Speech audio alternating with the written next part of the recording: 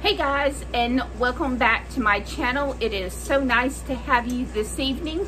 As you have noticed, I have changed the name of my channel. We are no longer Cole Family Farms. I have changed it to a channel that I think that is more suiting for the things that are to come. You are now going to pull up the Pioneer Farmhouse by Patricia. That is going to be my new channel name, the Pioneer Farmhouse. So as I am so excited to have that new name and I think that it's going to be a little more fitting for the future, I am also excited to share this first time recipe for me.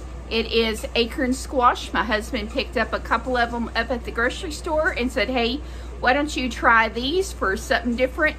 We are also going to be making gratin potatoes. He likes his with a lot of ham in it. So we're gonna really be making a, a pretty beefy gratin potatoes, just potatoes and ham and cheese, uh, salt, pepper, and onions. It's gonna be a real easy setup. I think that on one of my previous channels, I do have a recipe for gratin potatoes that I cooked with another meal, but I will also, I will re-show you this recipe as we're cooking it. All right, so here is my butternut squash. I've cut those in halves and cut one in quarter. One had a bad spot on it. And I'm just gonna brush each one of them with a little bit of butter.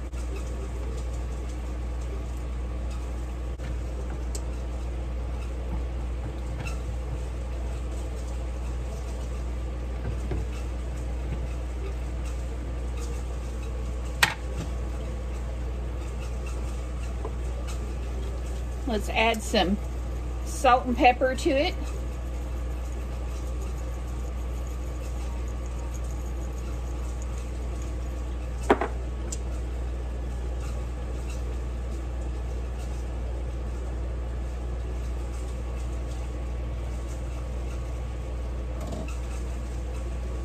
Gonna sprinkle it with brown sugar.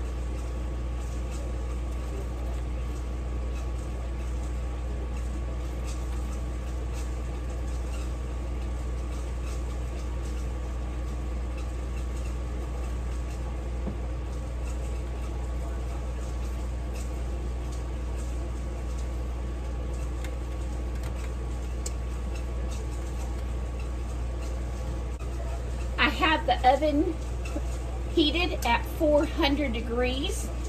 It did not say anything about covering these to cook, so I'm going to give them ample space here.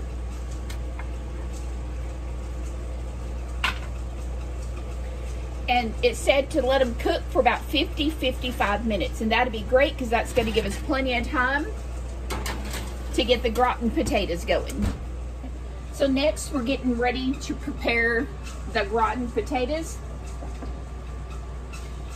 I've got two, four, six, seven, eight potatoes here. Um, I would use probably the medium size. There's just two of us and we do like a little leftovers. So um, this is gonna be perfect.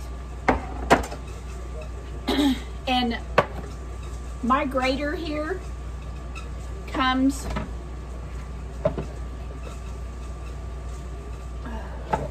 It comes with a tray to hold it. So um, well, I don't know why it's not sticking on there. It's supposed to.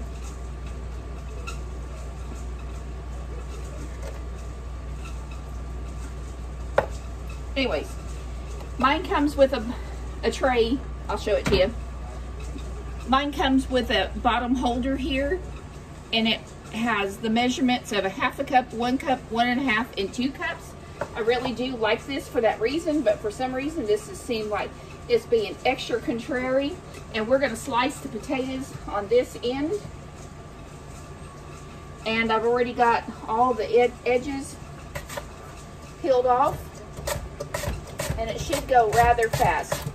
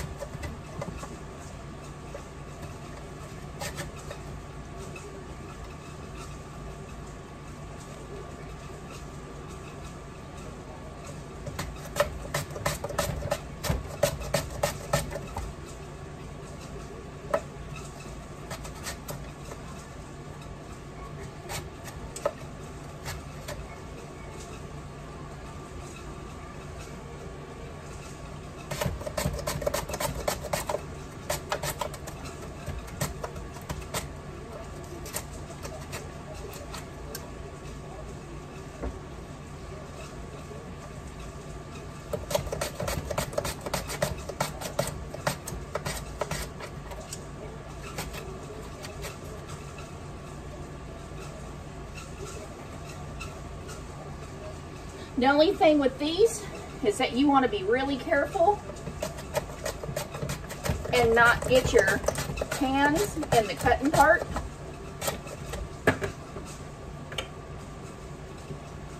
And when I start getting too close for comfort, I don't mind just stopping.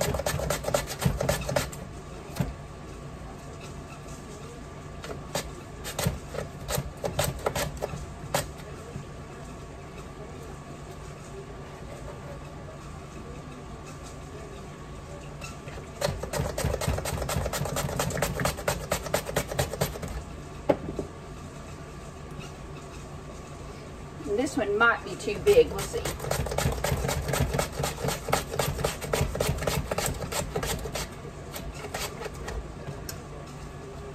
So I'm not sure how the pioneer women would have done it in their day if they would just would have cut it by hand or if they had any kind of gadget to um, make their life a little bit easier. I know we have so many nice gadgets these days to uh, cut potatoes up. Not only nice sharp knives to cut them up by hand, but we got food processors that can process this. And we have these nice little graters that has these little open cut edges on them that we could just force them down and cut small little pieces.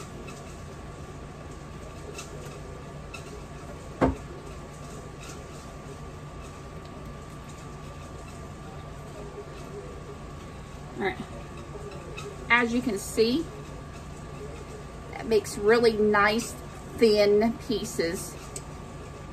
Almost, tra almost translucent. They're so thin and they're gonna cook so much better. The thinner you get it, the better that they're going to cook.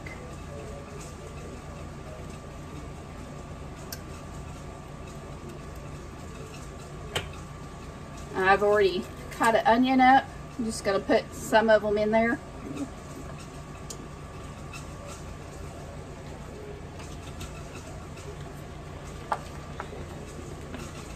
This is from my favorite store that I go to in Harrison.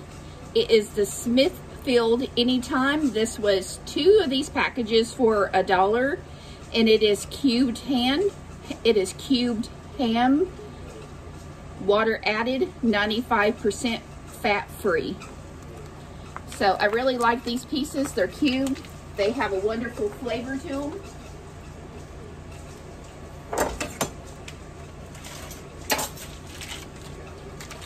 They have been in the freezer, so I've had them thawing for about 10 minutes in some water. And I'm just gonna, I'm just gonna do a, a layering process here. My husband said add lots of ham, so that's what we did. We added this whole package, and I was trying to find an ounce on this. It's eight ounces. So if you would like, you can go ahead and just continue to layer.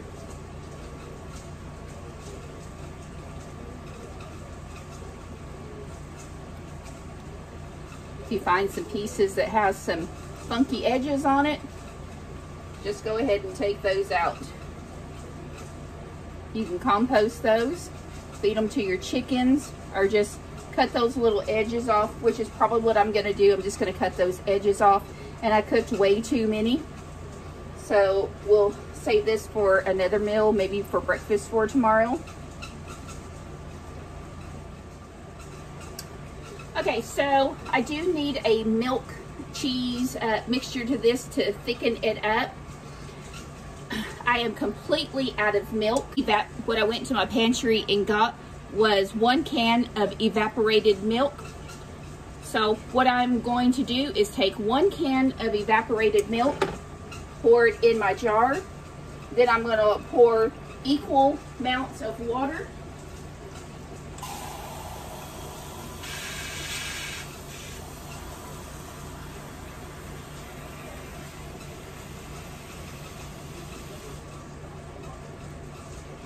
And simply just reconstituting it. And you can do this for any recipe. If you're out of milk and all you have is a can of evaporated milk, Just pour the whole can in, mix it with equal amounts of water, and you can use it for your recipe. So this is not, I'm not even going to cook this, guys. This is how easy this is going to be. I'm going to take one can of this back now that it's been mixed with the water. Pour it back in the bowl. And this is a 12 fluid ounce can.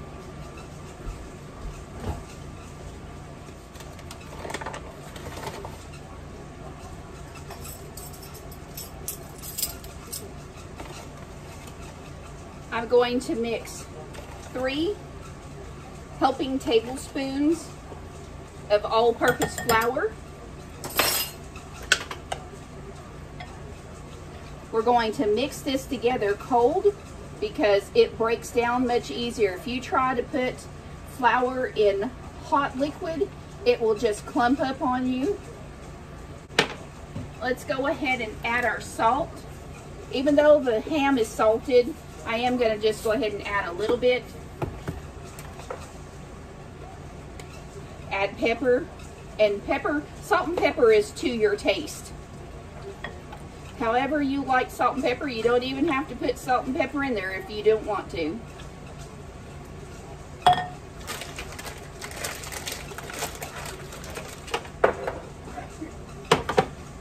I'm going to use my cheese grater. I'm not going to grate into the cup since my potatoes are already in there.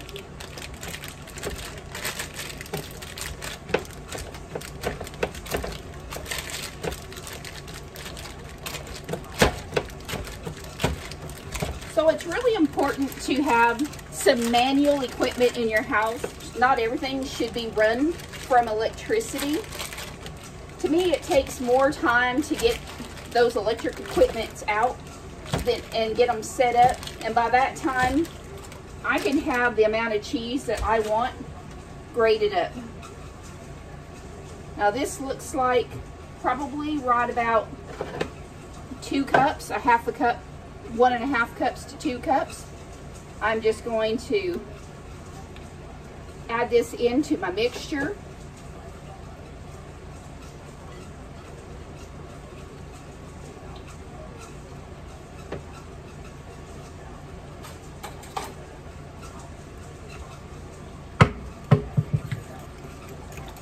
Give it a nice little stir.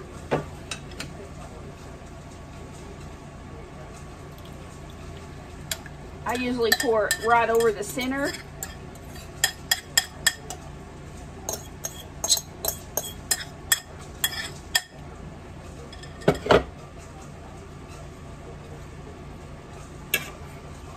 You can give that a toss if you would like, if you want to stir those up. The milk in it is going to thicken this there's no need to go ahead and thicken it and then put it on here. Just mix it like I did all in a bowl. It's going to mix together when you cook it.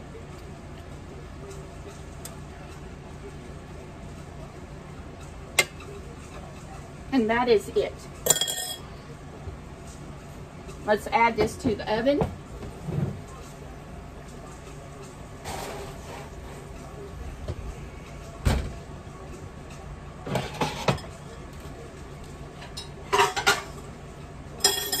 I'll see you back when we're done and let's go ahead and get those dishes done while we're waiting on supper.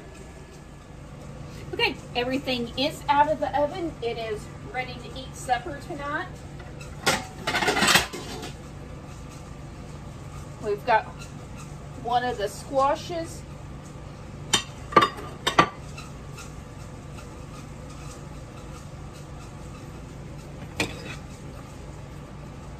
And there's our gratin potatoes. They turned out just fine by just mixing everything in the pan.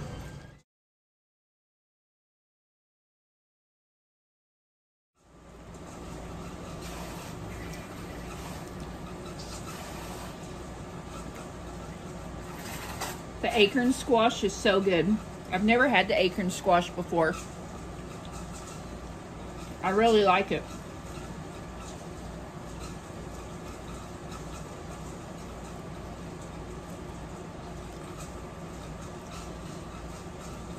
And the gratin potatoes with the ham tidbits in it is out of this world. And paired with the green tomato relish, it is so good.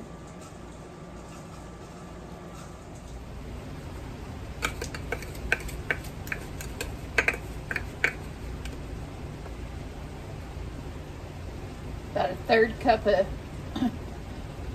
sugar for the strawberries. Should make a really good, Why I rinsed that.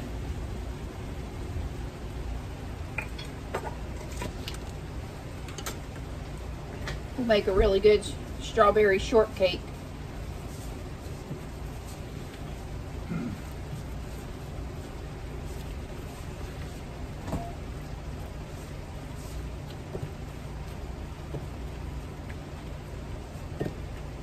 Do we have more strawberries in the refrigerator? Or is this the freshest? At the bowl sitting there, it's been there forever. We'll let these strawberries sit here and make a little bit of juice and then we'll be ready to put it on top of some shortcake.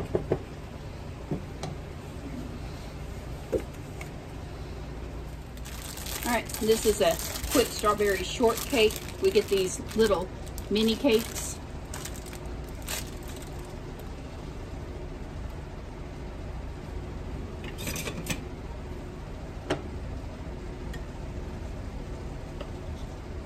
I just cut in half. Just like an angel food cake. A little dab of strawberries and juice over it.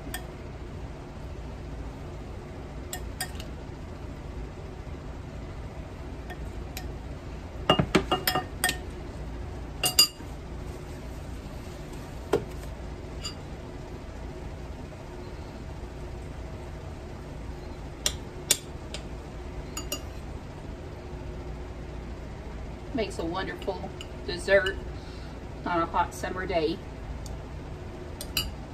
Super good.